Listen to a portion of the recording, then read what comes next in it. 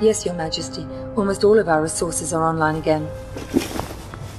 No, I'm afraid he's not, Your Majesty.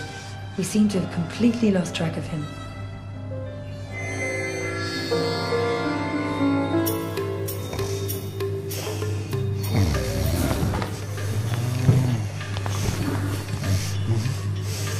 Ah, hello, uh, Mr. Johnson. Welcome, Mr. Johnson. Welcome. May I check your briefcase? No, I'll keep it. I've heard interesting things about your establishment. I'd like to see what you have to offer.